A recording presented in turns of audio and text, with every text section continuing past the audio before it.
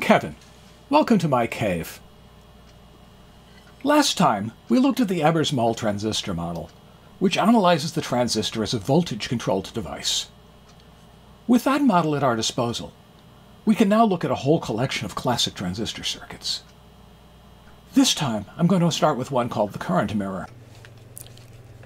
The current mirror is a circuit that has a power connection and two terminals, the programming terminal and the output terminal. We apply a current to the programming terminal and a load to the output terminal. The load will get a current equal to the applied current. If the applied current is tiny, the load current has the same tiny value. If the applied current is huge, the load current has the same huge value. And the load current is ideally independent of the load voltage. It doesn't matter whether the load is up near the positive supply rail or down near the negative one. The current mirror is a circuit that turns up in almost every analog IC. Often we will have two parts of a circuit that need to have equal currents, and a mirror will ensure that. Often, too, we have a current that represents a signal, but flows in the wrong direction. We may have a transistor sinking current and need a current source instead. You can think of a mirror as either creating two equal currents or reversing the direction of flow of a single current. Oh, I should mention that you can build a mirror with either direction of current flow. One simply uses PNP transistors, while the other uses NPN. So, how do we accomplish this wizardry? Let's start with a transistor with its base and emitter shorted together. We'll connect the emitter to a fixed voltage and run a constant current into the collector and base.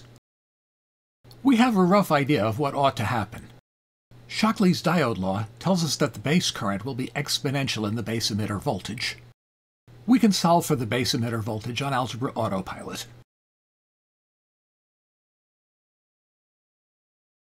The Ebers-Moll equation gives us the collector current, and we can expand that out on Algebra Autopilot.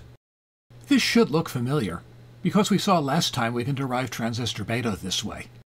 Kirchhoff's law tells us that the input current has to be the sum of the base and collector currents, and we can rearrange terms to show where the input current goes. But we have more work to do here. We've shown that these voltages and currents are consistent, but we also need to show that small perturbations away from the calculated point will cause the circuit to push the voltages and currents back to the point. To show that behavior, let's make our input a non-ideal current source. We can make do without all the calculation. If for whatever reason the base emitter voltage were to rise, that would make the base current of the transistor increase. That in turn would make the transistor's collector current increase. And the increased current would appear as an increased voltage drop across the output resistance of the current source. Which is the same thing as saying that the base emitter voltage decreases, bringing it back toward the calculated value.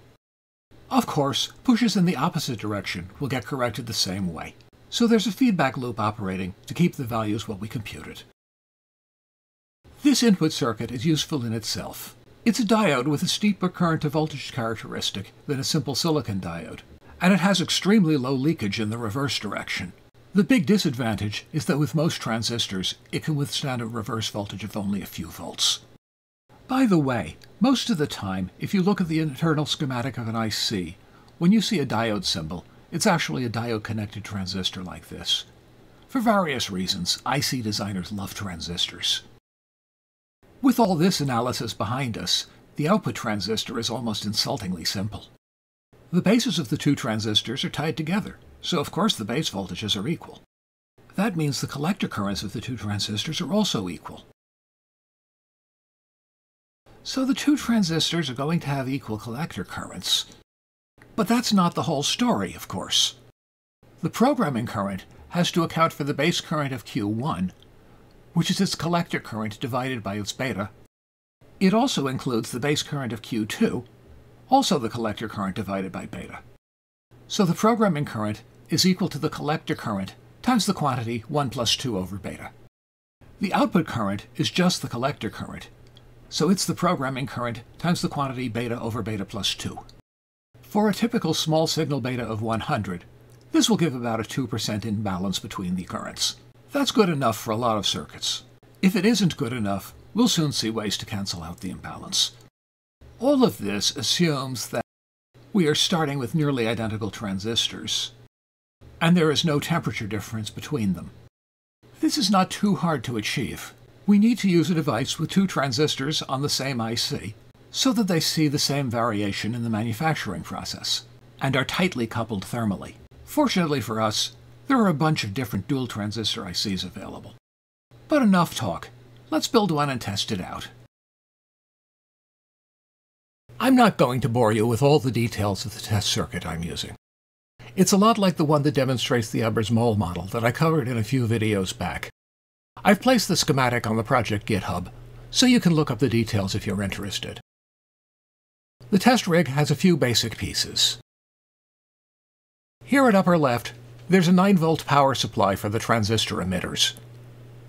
I can't tie them directly to plus 12 because I have op amps connected to the collector and emitter that can't sense that close to the positive rail. This circuit is right out of the LM317 datasheet.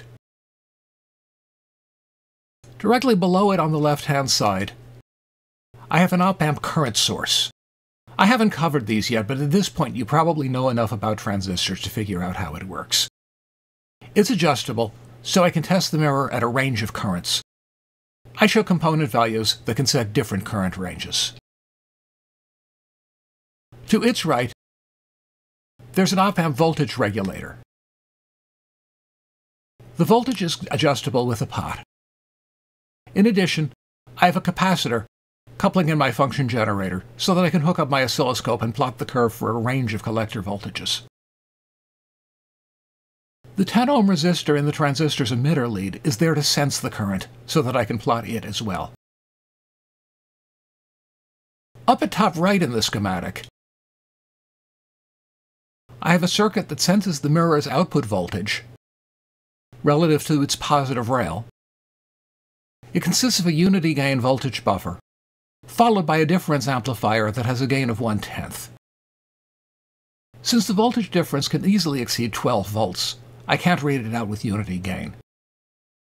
Difference amplifiers are another topic that I want to cover in the near future, so you might want to consider subscribing and turning on notifications so you don't miss it.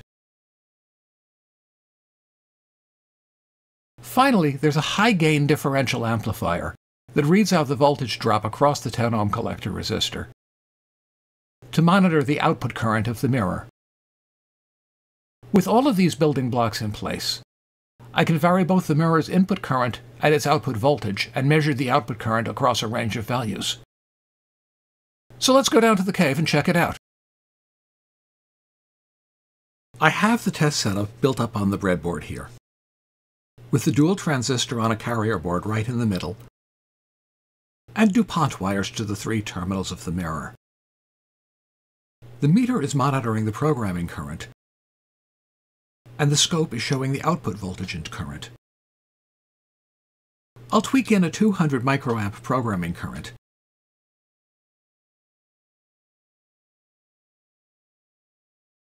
And I see something unexpected. The output current does stay somewhat close to the programming current, but there's a lot of variation as the output voltage changes. We're going to need to look at this in detail. Let me collect the traces for a variety of programming currents and plot them all together. Well, that didn't work out ideally. The general trend is right. As the programming current goes up, so does the output current. But there's quite a dependence on the output voltage. What's going on here is called the Early effect. We touched on it briefly in the episode on current sources. What the Early effect describes is that the collector current of a transistor is partly affected by the collector voltage. It rises with increasing voltage.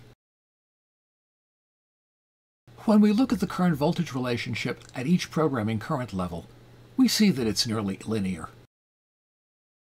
The point where one of these straight lines crosses the voltage axis is called the early voltage and denoted V sub capital A. If we need to model it, we can take the Ebers-Moll equation and add a factor to adjust for the early effect. But typically that only comes up in circuit simulation. We don't generally use the early effect, but try to arrange our circuits to minimize its impact. The early effect is worse. That is to say, the early voltage is smaller on small signal, low voltage transistors. It's worse on high beta transistors than on ones with a modest current gain. And it's worse on PNP transistors than their NPN counterparts. Sometimes we have the good fortune that we can ignore the early effect. For instance, if we look at the schematic of our test circuit, we can see that the current source has a low output impedance, and the characteristics of the mirror will determine the voltage. There will be some output voltage that exactly balances out the early effect, even accounting for the imbalance created by the base currents. When we look at the curves, it appears that 9 volts is that sweet spot. Since we're running the mirror from a 9 volt supply, this simple mirror would work perfectly going into the virtual ground of an op-amp circuit. And over in the series on audio synthesis, I'm going to add this sort of mirror to our voltage-controlled oscillator to simplify its design. Before I wrap up, I'd appreciate if you could indulge me for a few moments of channel housekeeping. I recently received notification that I've passed YouTube's thresholds for channel monetization. I give heartfelt thanks to all my viewers and subscribers for supporting the channel over the last few months as it began to find its audience. I've made the difficult decision to enable mid-roll ads in some videos. Word on the street is that YouTube doesn't show your channel to as many viewers unless you do that. Nobody likes intrusive advertising, but I'll try to schedule breaks for as little disruption as possible. I'm not looking for fame and fortune here. In fact, if I should ever happen to see a check from YouTube, I'm ruminating over what charity to give it to. In our troubled times, there are a lot of people who need a little extra help. Sorry about the interruption.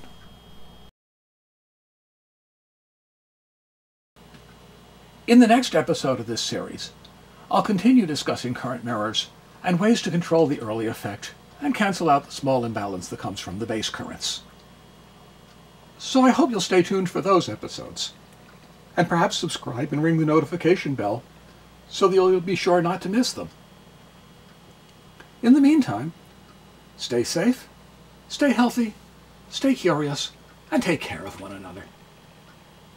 Bye.